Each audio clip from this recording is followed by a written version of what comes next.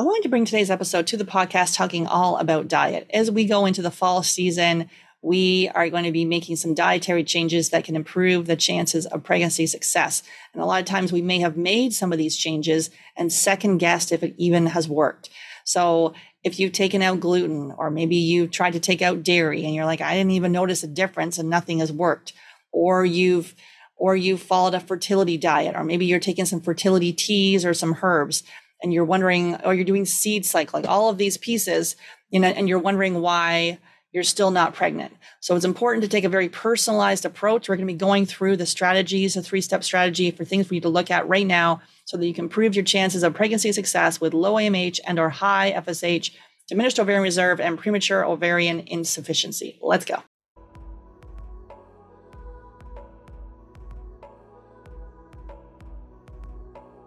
As I record this here in October, we are having a major heat wave in the 80s or 28 degrees Celsius. So, um, which is good. So, I'm enjoying the uh, last days of summer as in Canada we go into the cold freeze soon.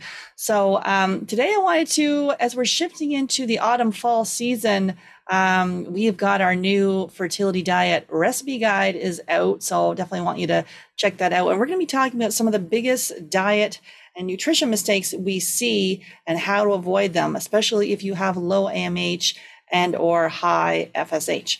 So let's talk about the first one we see, which is people tell me all the time that they're already eating clean, air quotes eating clean. They've made a lot of changes. They've already tried going gluten free, dairy free. They've, you know, made some of these generalized dietary uh, recommendations.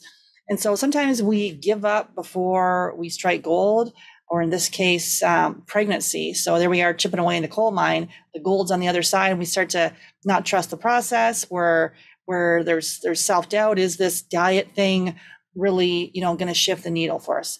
And what we see, a theme with low AMH and high FSH is non celiac gluten sensitivity. So, gluten off the charts, and some of the cross reactors around gluten, such as dairy, corn, oats, um, and more. And so, we do an elimination diet.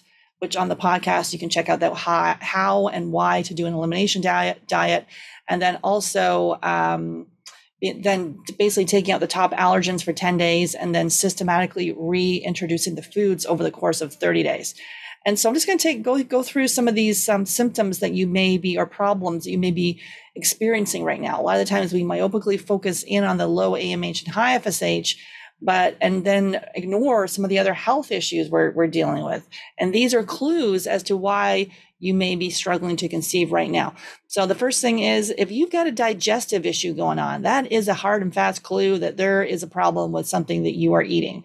And many times people will say, "Oh, I have dairy and it gives me bloating," or, you know, I have I have corn and I feel my sinuses pl- plug up. Well, if you know that a certain food gives you a problem, stop eating it. Right? So you know for sure if you're not able to make the correlations with with with this, if you've you've got diarrhea, constipation, acid reflux, bloating, gas, burping, if you're dealing well with all this, but you don't really know which food it is, it is is key to then do that elimination diet, and then you'll tweak it with food sensitivity testing. Uh, and then to be able to bring most of the foods back in, we need to then do stool testing to address infections. So if you've got a leaky gut, which could come from high antibiotic use, high stress. Done a whole episode on the podcast on the adrenals. We see this with low AMH and high FSH. Just a lot of stress. People working more than 50 hours a week. People doing working, plus they're doing a graduate program. People obviously have gone through multiple failed IVFs. People dealing with um, a loss of a pregnancy, a loss of a loved one, um, being told donor eggs. I got people t- telling me that they're, you know, in the middle of Target or they're driving and they get a call from a clinic saying, "Hi, um, we've looked at your your numbers here, and it looks like donor eggs are your only option." Like that in itself is traumatic. So a lot a lot to deal with here, which then, you know, your adrenals, which then impact your thyroid, which then directly impacts your AMH, FSH, and your follicle count. So and your your uh, ovarian reserve. So it's really um, important to so the quality of your eggs, not the quantity. So it's really important to address these things. So first of all, you got a digestive issue. you need to dig into this. And like we said, the elimination diet, tweak it. That is a, a huge clue. All that stuff may be common burping, gas, bloating, all that stuff, di- um, constipation, diarrhea may be common, but it's not normal and it's a clue. Mood problems. Many times people tell us they've had anxiety for years, depression for years, panic attacks, ADHD, and then you may be taking medication, maybe taking um, SSRIs for this to help. But we're not getting to the root. We're not. You're not getting the missed healing opportunity. So conventional medicine will pass you a pill, not digging deeper. So the health of your gut and your neurotransmitters. A lot of podcasts I've done on on that. So if you've got mood problems, um, that is a clue for us to dig deeper. Also, when your hormones imbalance, then you know with the adrenals, many times people think I'm in I'm in menopause. Maybe it's your adrenals with all that all that extra stuff that you're doing, and just because you're a type A action oriented person and you can cope well doesn't mean your body's coping. That was me. I, I felt fine mentally, well until I didn't until I was yelling at my husband. I'm like, okay, we know when things are out of balance when you got road rage and you're and you're you know picking fights with with your husband and like we've been married for 27 years and he's just a very calm, um, patient person. and I for years dealing with this, like such irritability. Obviously, my hormones were, uh, were imbalanced. But if you've got, so it was blood sugar issues for me and a whole host of other things. You've got mood problems, obviously going, dealing with the fertility journey in itself. There could be situational anxiety. You're going through a lot right now. But if you've always had mood issues and now you're trying to conceive, that is a huge red flag to dig deeper. So, mood problems skin issues. I can't tell you the number of people tell me they're dealing with acne, they have eczema, they have psoriasis, dermatitis, they have hives, something going on in the skin. The skin is a direct reflection of the health of the gut.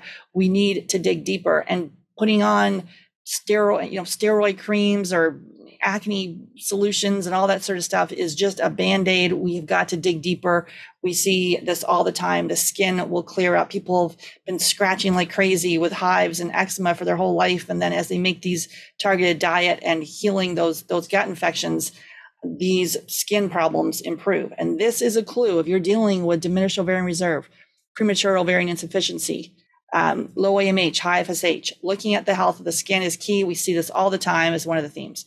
Okay, joint problems. I literally, uh, I was away a little while ago. Um, I got glutened, and I literally could feel like I had tennis elbow, carpal tunnel syndrome, and an old knee injury started flaring up. And I, I was away last weekend with some girlfriends, and literally they're like, my whole body hurts. I can barely get off my chair. Let's just do chair yoga. And, you know, I've just got so much pain. I'm like, I don't really know what they're talking about because I don't have painful joints. But when I eat a food that's inflammatory, I'll tell you right now, it feels like every part of my body is hurting. So if you've got joint problems from a bad back to muscle pain, like those arthritis joint, there's some clue. Is there is there underlying inflammation? And then your body wants to survive, not procreate. That's a huge clue. Dig deeper. Um, the next one is autoimmune disease. I can't tell you, I feel like it's on, on repeat here, but I can't tell you how many people come to me and they have Hashimoto's plus low AMH and high FSH. They are dealing with celiac disease, actual celiac, not the non celiac, celiac disease. They have got type 1 diabetes. They have rheumatoid uh, arthritis. They have MS. They have lupus. They ha- are dealing with an autoimmune disease. And then what's happening is they are pushed towards IVF. And then no one addresses the autoimmune disease. The best thing to help reverse and heal autoimmune disease is functional nutrition, functional medicine. It, otherwise, you're going to be taking all sorts of medication. We've got people with ulcerative colitis and Crohn's. And um, even though they may be in remission, is there still inflammation underneath? And, and we've seen that this is the case. We've seen people go through multiple failed IVFs with ulcerative colitis, um, even though all the markers are saying it's fine. But when we dig deeper, there's still inflammation in there, and that's cause, and that's a reason why they're not able to conceive. So as we again start to reduce that inflammation, so your C-reactive protein, that's if that's high, if you if it's over one considered high, and we see people with it a lot higher. So um, being able to address an autoimmune disease is key. And so making those targeted diet and lifestyle changes along with healing the gut. So um, like we said, to be able to take out the top allergens, which are dairy, gluten, soy, corn, peanuts, eggs, processed sugar, and alcohol for 10 days systematically reintroduced. It is not about you starving and drinking uh, drinking green juice. It's about eating organic poultry, wild caught fish, grass fed meat, uh, half the plate veggies. You can do some uh, potatoes uh, or, or rice if you tolerate, if you don't have a glucose issue or an insulin issue, um, and being able to see how food impacts your body. So definitely look at that fertility diet freebie. So go to fertilitydietfreebie.com and there's the, the there's the autumn fertility recipe guide, five days of recipes, meal plan, grocery shopping list, all to get you started. So I'll just share a little success story here with you. So she's 36. Um, she had premature ovarian insufficiency, so high FSH, low AMH, had secondary fertility issues. Her IVF was canceled because she was a poor responder. She had an irregular ovulation and and and her ovulation was unknown, and she had an irregular cycle. Ooh, it's hot. sweaty in here.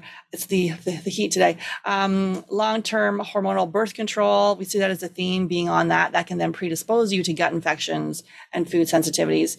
And then um, she had asthma, migraines, insomnia, sinus congestion, eczema, anxiety. So a lot of those things that we just talked about um, as some clues, she was dealing with all of them.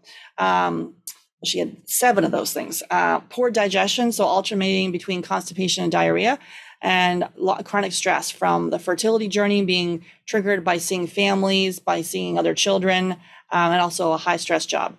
So we did the, the functional testing. So we do food sensitivity testing using blood, stool testing, looking at the DNA of the stool, genetic testing, looking at your gene variants, and then what are the, the specific sub- diet and lifestyle and supplement recommendations to support those genes. So it becomes a very personalized approach. And this is a female hormone panel different than what you're getting at your fertility clinic. We're looking at FSH, thyroid, your methylation pathway. So if you have that MTHFR gene variant mutation, 80% of uh, the population can have it. We see this a lot, and they're not able to assimilate your uh, methylate your B vitamins. Lots of um, podcast episodes I've done on MTHFR. Definitely want just to make sure you're taking methylfolate.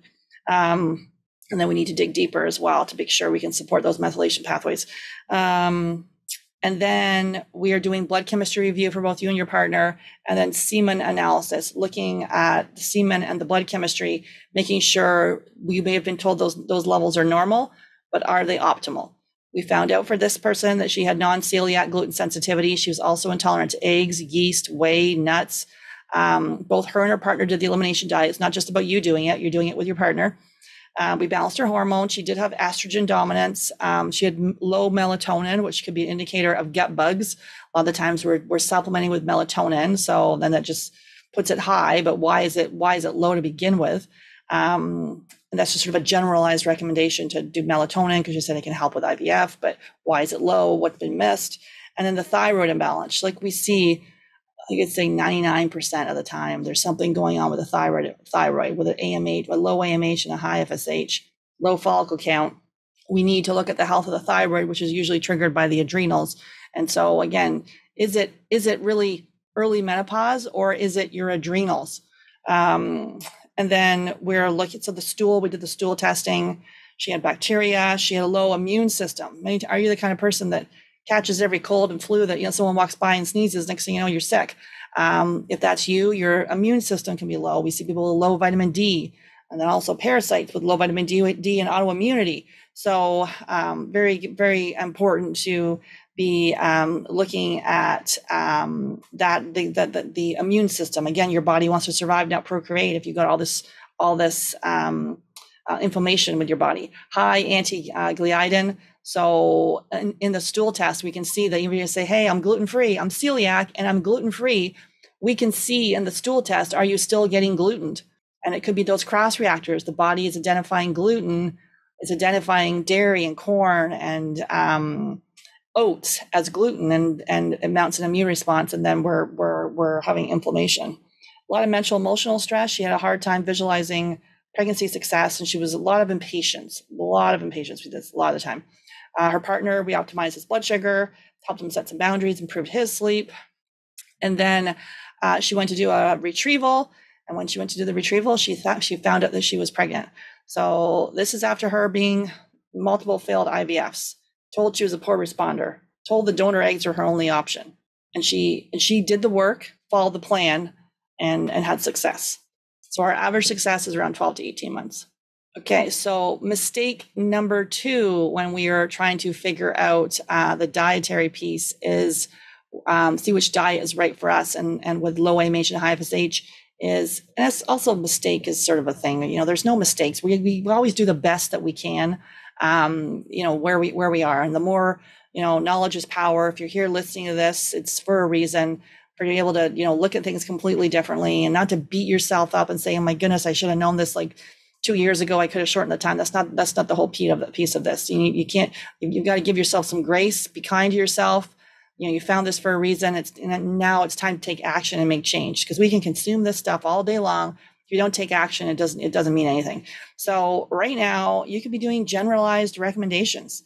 There's a whole bunch of information out there on books podcasts blogs um, but are those recommendations right for you? A lot of times people are reading It Starts with the Egg. I did a whole podcast on what to do after you've read It Starts with the Egg, because that's one of the most popular books in the fertility community and it has some really good information.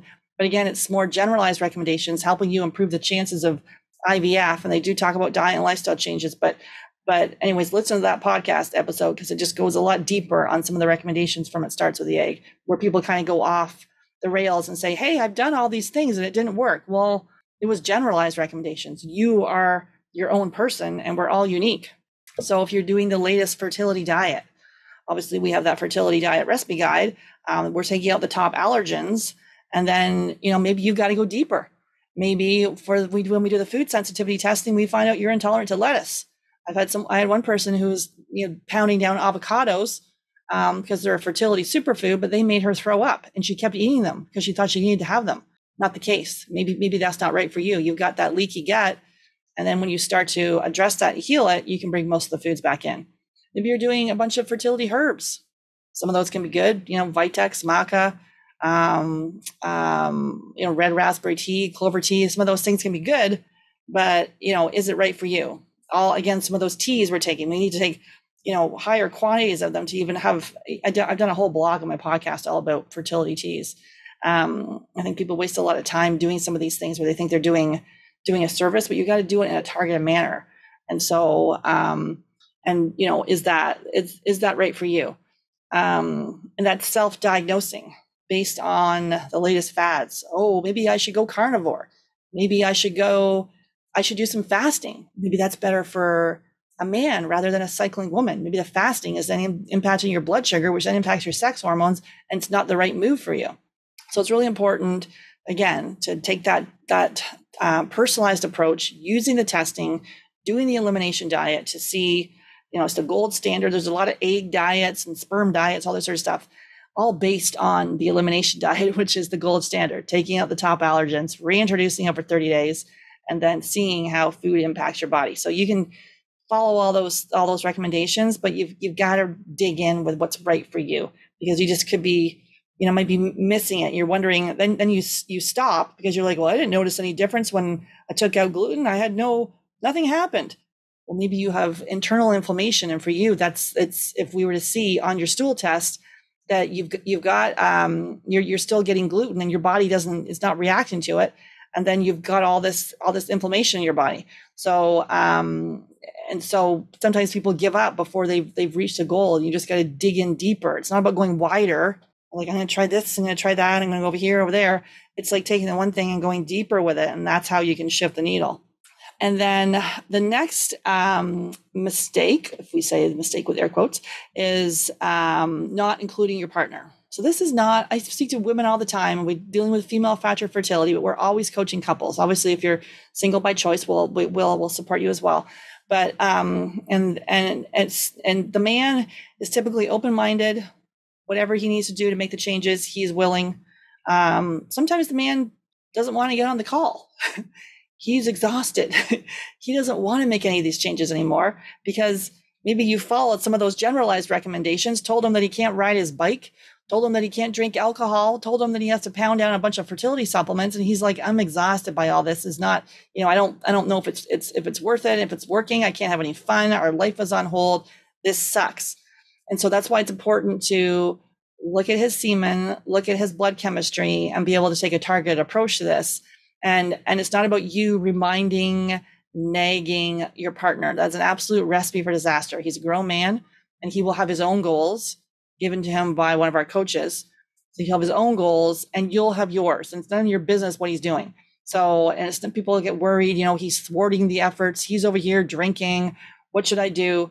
He wants the baby just as badly as you do. So a lot of the times the guys will, will feel they need to be supportive for the woman, um, but they're equally as in pain. Like this is something you're doing together to expand your family. And he may, he just may not know what he can do. If he's like, my semen's fine, but is it optimal? And then if his semen is fine and all his blood chemistry is fine, we never get find, find a man that's completely perfect, but there's always something he can do to work on his health. Um, even then, from a mental, emotional side of things, being able to, how's your relationship? Are you single mindedly pursuing the baby and forgot about the relationship with your partner?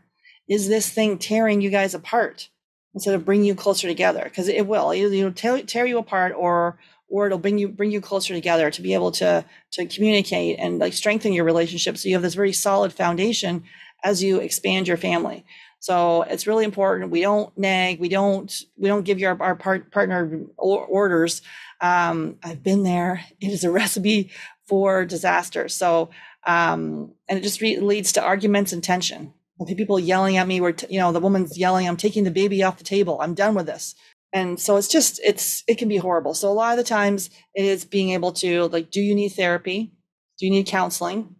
So as part of our program we have we have um, a mindset support. So if you are having you know issues right now with your partner getting that counseling and just being proactive about it right? That's that's like courageous where you be like you know what? Instead of sweeping under the sand saying you know what? This is tough. This is a like you're in the middle of a struggle right now the messy middle and so it's hard to see that there's going to be, you know, there's going to be a, a finish line when you're stuck in it. There's a lot of uncertainty, there's impatience, putting a lot of pressure on yourself, feeling like, you know, it's now or never. And and then that can put a strain on the relationship. So to be able to parent, you know, mother and father, mother and mother and father, mother and father yourself right now, um, being being able to, you know, to to parent yourself now and and focus on what things that make you happy now, because that's what brings in the baby. If you're like, oh, I will be happy when the baby comes, then you know, does the baby know it's safe to, to, to come in because you're overworking, overstressing, putting all this pressure on yourself worrying, you know, worrying all, all, this piece and being able to, it's not about, you know, in a Pollyanna way, being able to visualize this. It's being able to say each step at this step, at this point, I'm going to do this. And then when I've done that, I'll do this sort of in a, in a, in a logical way. Uh, to know that you know it's, it's it's there is a beginning and a middle and an end to every every struggle. So as we say, right now you're you're caught in the messy middle, and that uncertainty can be overwhelming. Um, and so it's important to include your partner. So he's there for um, support. He's making these changes as well because this stuff is life changing. As you you know make these targeted changes, diet and lifestyles, looking at foods that serve you, healing your gut, working the mental emotional stuff, addressing the, your adrenals. Maybe you you have got thyroid issues. Maybe you've got blood sugar issues. Those are some of the themes we see. The, the environmental toxins we're exposed to. As you make all these changes, it is life changing and you'll never look at health medicine the same again because you'll know that you're in charge that it's empowering we don't need to wait for the person in the white coat we can hire the person in the, in the white coat as we see fit and they work for us and then we bring a team around us but we know our body best and so just thinking of one right now where um, where she had three failed ivfs her fsh was in the 80s um, she was told um, that donor eggs were her only option. She went to work and made the changes. Um, we found she had the non celiac gluten sensitivity. She had gut infections, blood sugar, thyroid, protein absorption issues, and adrenal issues.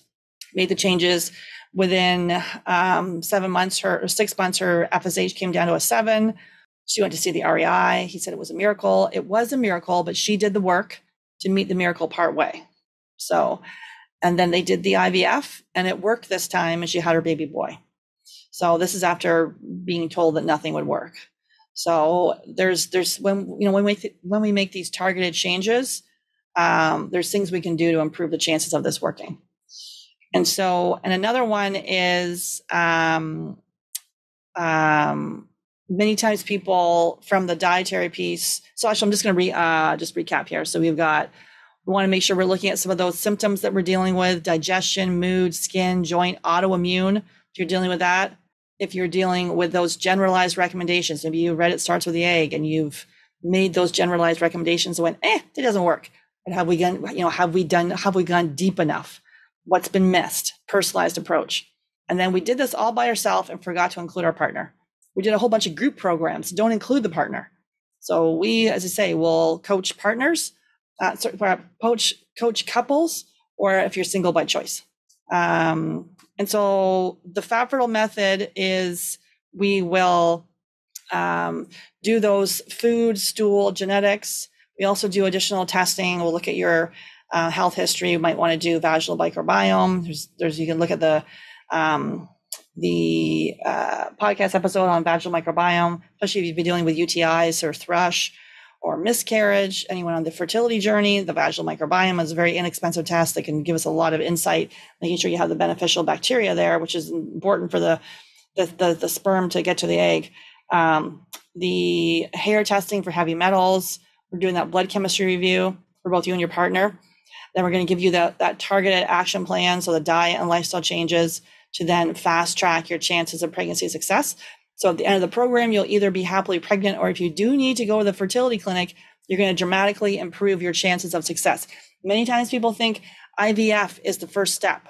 That that's the fast track. The fast track is working on your health because what we see is people have spent tens of thousands of dollars doing IVF.